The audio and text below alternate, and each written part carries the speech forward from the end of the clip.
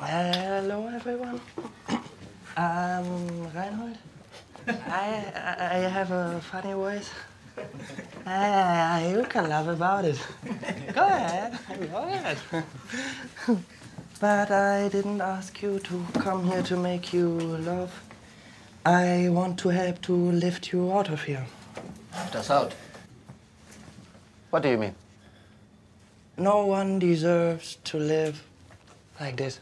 Berlin Alexanderplatz is a novel that you read in high school in Germany. برلین الکساندر پلتز رمان است که در دبیرستان‌های آلمان باید بخوانیمش. ولی آدم وقتی 17 18 ساله است خیلی قدر این کتاب نمیدانه. من که آن موقع ازش متنفر بودم ولی بعدا در بزرگسالی وقتی به برلین آمدم دوباره خواندمش. و آن موقع بود که مسحور زبان و ساختار داستان این اثر زیبای ادبی شدم.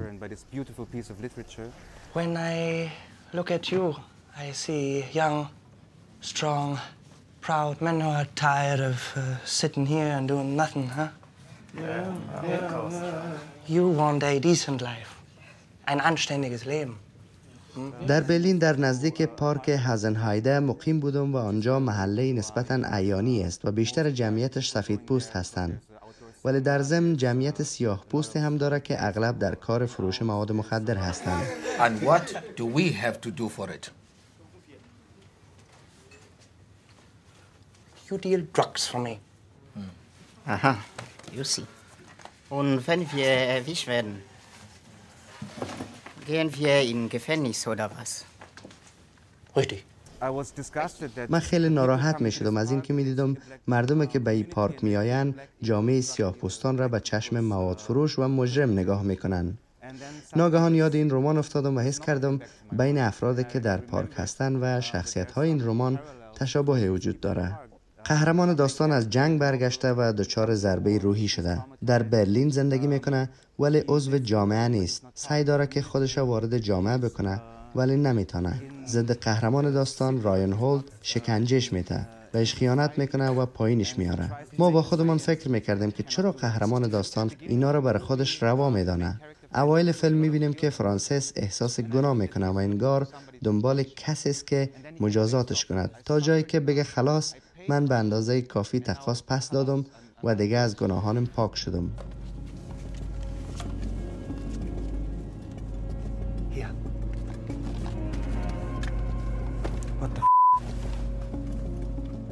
Was ist das?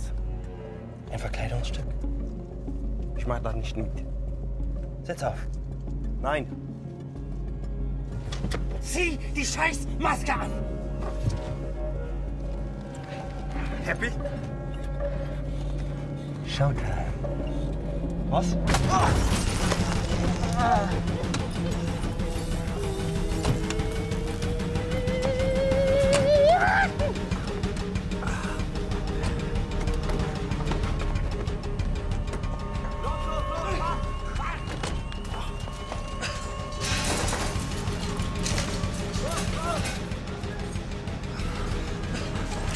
das ins Auto da.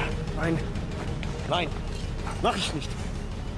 Du tust, was ich dir sage. Los! Nein.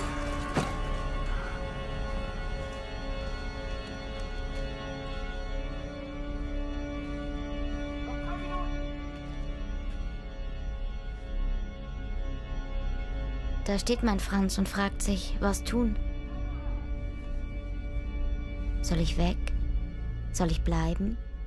The thing is that um, the, the novel was already done by uh, Rainer Werner Fassbinder. He did a این رمان قبلا هم به تصویر کشیده شده بود. راینر ورنر فاسبیندر در دهه 80 سریال بر اساسش ساخته بود. و خب فاسبیندر در آلمان خدای سینماست و عاقلانه نیست که آدم با خدایان در بیفته. بنابراین من فکر کردم که رمان را استفاده کنم ولی داستان را در فضای متفاوت قرار بدم که با سریال فاسبیندر مقایسه و تقابل پیدا نکنه. در واقع رمان برای ما وسیله بود که با استفاده ازش داستان کسانی را بگم که بیچهره هستند و صدایشان به جایی نمی‌رسه چون اجتماعی ندارن که زبان واحد داشته باشه. خواستم با این رمان حال و روز آنها را روایت کنم and um, to use this novel for them to be their narrative. Das ist Pumps. Das ist Pumps. Danke, Pumps. Dein Gorilla? you. Panzer, ist gut, ist gut. Du musst deinen Gorilla besser erziehen. Er kann hier nicht einfach jeden angreifen. Ich bin kein Gorilla. Speak to this man. Das ist ein Problem, Reinhold. Du hast deine Leute nicht unter Kontrolle. Stehst du? Was ist dein Job hier, Gorilla? Mein Name ist من در. همه فیلم هایم به موضوع هویت می پردازم با آدم های غریب در سرزمینی که مال خودشان نیست پدر و مادر من در دهه 80 میلادی با دو تا چمدان از افغانستان به آلمان آمدند سرزمین و فامیل و خانه و زبانشان را رها کردند و من هم رنج آسیب روانی که اونا متحمل شدن را در خودم دارم و او را در فیلم های منعکس می‌کنم. تا حال سه فیلم ساختم که همهشان داستان آدم های غریب در سرزمین غریب هستند. آدم هایی که می‌خواهند در سرزمین تازه زمین خودشان و خانه خودشان را پیدا کنند. لحظه در فیلم هست که قهرمان داستان که مهاجر سیاه پوست است میگه من آلمان هستم. به من نگوین پناهجو به من بگین نورسیده. به من بگین مهاجر نه پناهجو این چیزی که شخصا برای من خیلی مهم است. برای پدر و مادرم هم. این که بگویم به من نگاهی از بالا و پایین نداشته باشین. ما را با خودتان مساوی بدانین و به ما به چشم کسایی نگاه کنید که می‌تونن به جامعهتان یک چیز اضافه کنند ما اینجا به گدایی نیامدیم. ما از شما چیزی نمی‌خواهیم. ما می‌خواهیم زندگیمان را احیا کنیم. به نظرم وقت آدم سرزمینش ترک می‌کنه بخشی از شعنش را از دست میته من در فیلم هایم سعی می‌کنم شعن شخصیت هایم را به ایشان برگردانم. I was a refugee all of my life. I did what I have to do. Now I got a second chance. Ich will gut sein. Ja, ja. I always say this. What is gut?